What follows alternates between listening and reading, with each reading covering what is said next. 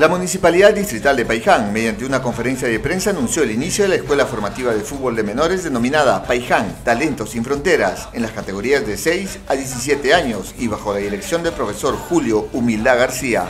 El alcalde Richard Zabaleta manifestó estar presto para apoyar y promover el deporte, siendo el objetivo encontrar nuevos talentos. Gracias. Eh, la primera pregunta que concierne eh, estrictamente a la Municipalidad Distrital de Paiján y que eh, lo encabeza eh, mi persona, obviamente siempre estamos prestos eh, a darle la oportunidad a toda la niñez y juventud con respecto al deporte. En esta ocasión, el fútbol y nadie creo que desconoce el tema de la preocupación y el esfuerzo y el entusiasmo que siempre tratamos de, eh, obviamente, proponer, difundir lo que es el fútbol también.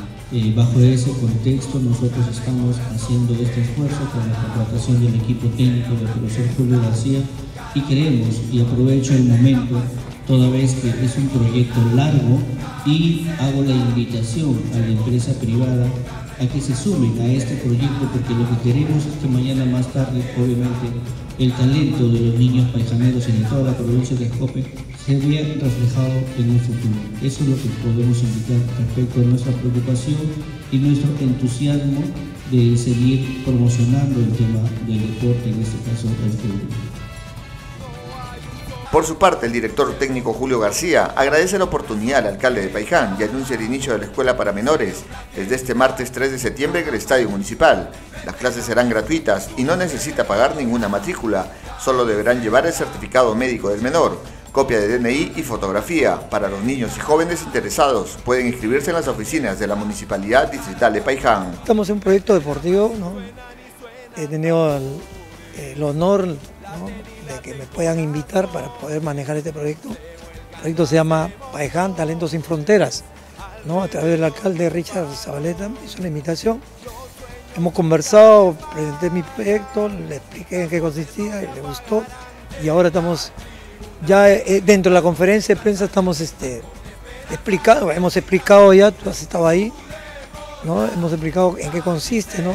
Va a consistir en dos partes. La primera parte son de dos meses para poder evaluar y después y captar los talentitos, ¿no? Y después darle ya una formación deportiva, pero también formación este, competitiva. Entonces, el próximo año van a ponerle más énfasis a esta formación de participar en torneos. Queremos hacer un torneo internacional, estamos con eso y poder este, aplicar todo lo que se aprendió en estos cuatro meses, ¿no? De septiembre a diciembre, todo lo que se aprendió a través de, ya, de la competencia, ¿no? ¿Cuándo inicia, profesor? Iniciamos este día martes, estoy invitando a todos los niños y jóvenes de acá de la provincia de Cope, en especial del distrito de Paiján, ¿no? Iniciamos el día, ya pueden venir a inscribirse acá en la municipalidad, pero el día martes a las 3 de la tarde iniciamos el proyecto, ¿no? ¿Cuáles son los requisitos para escribir? Bueno, los requisitos que estamos pidiendo es gratuito. El alcalde Richard Zabaleta, la inscripción, la matrícula lo está dando gratuitamente para toda la provincia, todos los niños y jóvenes.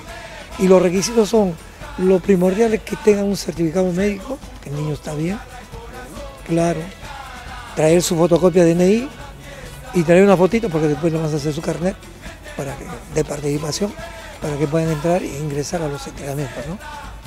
En esta oportunidad sabemos de que hay categoría. Sí, eh, estamos de los 6 a los 17 años, lógicamente empezamos con, a partir de, del mes de, de, diciembre, noviembre y diciembre ya vamos, vas a categorizar la, la, la categoría, ¿no? ¿no? La categoría sub 6, sub 8, sub 10, sub 12 de fútbol base y después ya sub 13, sub 15 y sub 17. ¿En dónde van a ser, en este caso, eh, las clases? La clase va a ser en el Estadio Municipal, los días martes y jueves para, los, para el fútbol base, niños de, de 6 a 12 años en el horario de 3 a 5. Y el día miércoles y viernes eh, para los jovencitos de 13 a 17 años. ¿no? Y los sábados va a haber fútbol formativo en donde le vamos a aplicar todos los, todo, lo, todo lo aprendido en los días de la semana y los sábados desde 9 a 11, de 9 a 11.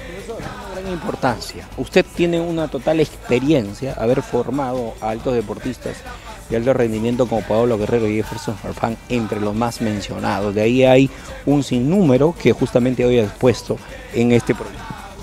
Sí, bueno, hemos tenido la suerte de, tener, de llegar a mis manos tantos talentos, hemos ayudado con un granito de arena, de formarlos, darle la formación indicada y, fortalecer sobre todo para que puedan lograr sus sueños, ¿no? la parte mental. ¿Cuántos años en Alianza Lima estuvo dentro de la formación? Dentro del tema formativo he estado siete años. Invito a todos los niños y jóvenes de toda la provincia de Ascope, en especial a los niños y jóvenes de Paiján. Los espero el día 3, la inversión solamente de su uniforme. Ustedes mismos tienen que venir con sus uniformes, sus zapatillas, la ropa deportiva y después todo es gestionado y pagado por el alcalde Richard Zabaleta. Hay que traer también el certificado, la fotocopia de su DNI, su certificado médico, ¿no? que vayan a un médico y le den un certificado que están aptos para practicar el deporte. Nada más, después todo es gratuito. Bueno, un saludo para todos los oyentes, televidentes de Tele3 Deportes. Tele3 es como mi casa, es el canal del deporte. Así que un saludo para todos ellos.